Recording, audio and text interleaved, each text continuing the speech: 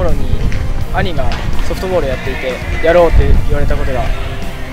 小学校1年生から入ったことがきっかけです。女子チームがあったんですけどそこに1安打で完封されてしまって負けてしまったことがすごく印象に残ってます。真田中でやっていました。すごく久しぶりに自分たちの代で県大会に出場できたことです。監督もいい人だと兄から聞いていて